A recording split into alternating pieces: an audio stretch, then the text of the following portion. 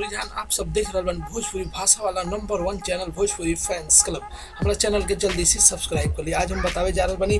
कि भोजपुरिया राजा के वो गाना छलकत हमरो जवानिया जौन की काजल लगवानी और पवन सिंह के बीच में फरमावल गई जी हाँ भैया वो गाना शुरू से ही यूट्यूब पर अपन दबदबा बने दे रखा लेकिन कभी भी ई ना सोचल गई रहे, जब वो एक करोड़ गाना पार के रहे तो पवन सिंह जश्न बने रहे पवन सिंह कभी ना सोचले कि वो गाना के लोग या उनके फैंस चार करोड़ पहुँचा दिए जी हाँ भैया, चार करोड़ सैंतीस लाख गाना अभी पहुँच चुकल बा तो चार करोड़ प्लस चल गई बा वो गाना जो कि भोजपुरी के ही पहिलका गाना रहा जे चार करोड़ गई बा पूरे भोजपुरी के हिस्ट्री में या इतिहास में पहिलका भोजपुरी के गाना बा, जो चार करोड़ क्रॉस कर गई बा जो कि एक बॉलीवुड गाना के भी टक्कर दे रहा बा। बता दी भैया कि ई गाना पिछले साल मात्र भी एक साल ये गाना के भैया अभी एक साल में भी दिन कम बा। एक साल में चालीस